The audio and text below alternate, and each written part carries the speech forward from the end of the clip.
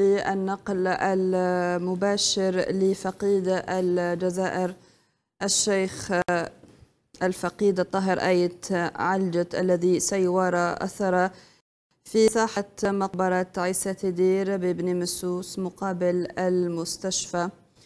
إذا وفاته المنية في ساعة متأخرة من ليلة أمس عن عمر ناهز المئة وستة سنة. حسب ما أعلنت عنه وزارة الشؤون الدينية والأوقاف.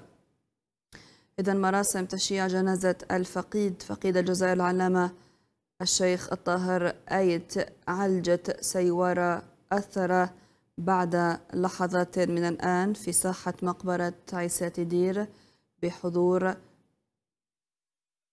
جمع من الطاقم الوزاري.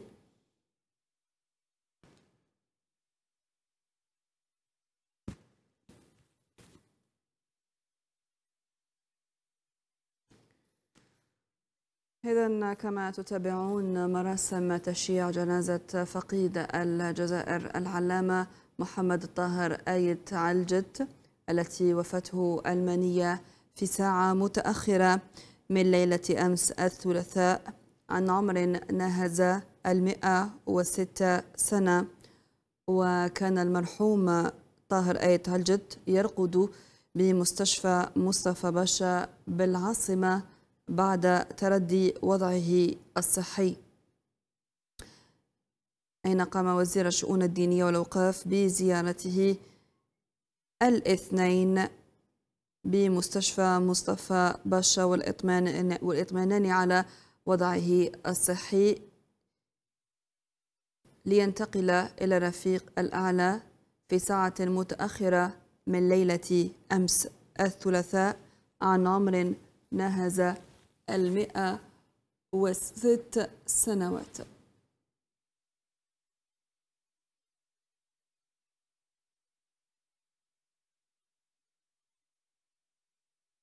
إذا يحضر جنازة الفقيد كل من الوزير الأول أيمن بن عبد الرحمن بالإضافة إلى وزير الاتصال وزير الشؤون الدينية والأوقاف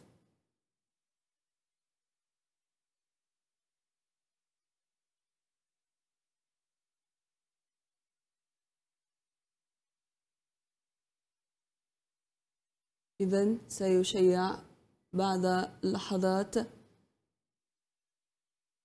بمقبرة بني مسوس. إنا لله وإنا إليه راجعون.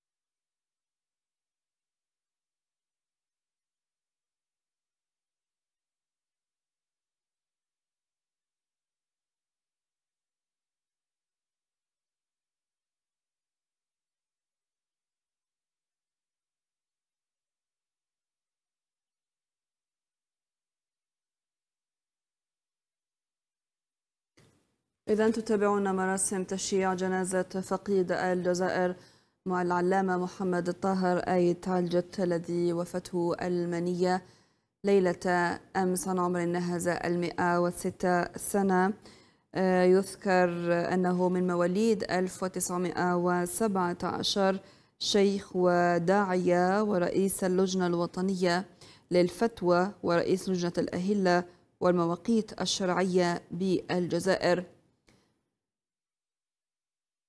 حفظ القرآن في سن مبكرة على يد والده. درس في العديد من الزوايا عبر ربوع الوطن.